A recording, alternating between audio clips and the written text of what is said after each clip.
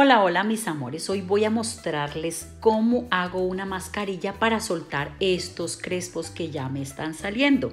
Mi amiga Jessica Corrales me hizo la queratina ya hace unos meses y obviamente miren, ya me está creciendo la raíz. Entonces los vamos a aflojar, vamos a aflojar estos crespos con esta mascarilla que es espectacular, se las recomiendo de verdad. Comenzamos. Entonces voy a poner a cocinar un poquito de arroz en agua normal y corriente un puñadito de arroz solamente. Y cuando ya esté así blandito, ya esté cocido, lo vamos a poner en la licuadora. Así, con agua y todo. Ponemos una cucharadita de café, una cucharada de maicena, así como la ven, una cucharada sopera Vamos a colocar un chorrito de acondicionador o crema para peinar. Esto es opcional también.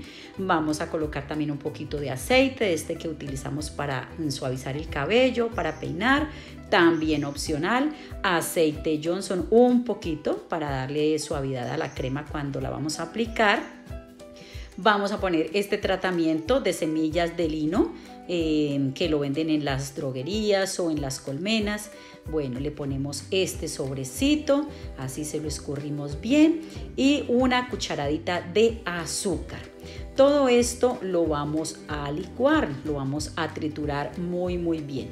Lo ponemos en la licuadora, lo dejamos, no sé, unos segundos, lo que ustedes crean, eh, cuando esté bien trituradito ya luego lo sacamos de allí, lo ponemos en un recipiente y lo vamos a aplicar sobre el cabello, en todo el cabello, raíz y medios y puntas. Miren, así como me lo estoy poniendo yo, me estoy embadurnando toda esta cabeza.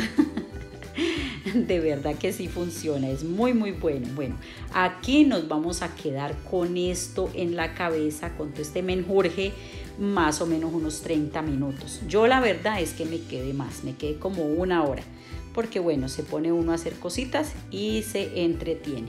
Nos colocamos un gorrito plástico o una bolsa, una bolsa plástica también puede ser, y a esperar.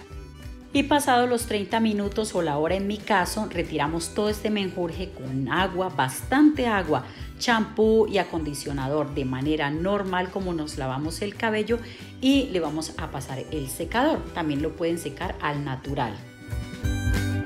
Y listo, afloja muchísimo el crespo, afloja mucho la onda. Se los recomiendo, el cabello queda súper suave, queda riquísimo, delicioso. Bueno, miren, y queda bien agachadito, no queda todo embombado como yo lo tenía.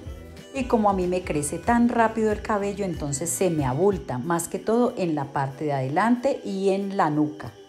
Bueno, mis amores, un beso gigante para todos y para todas. Adiós.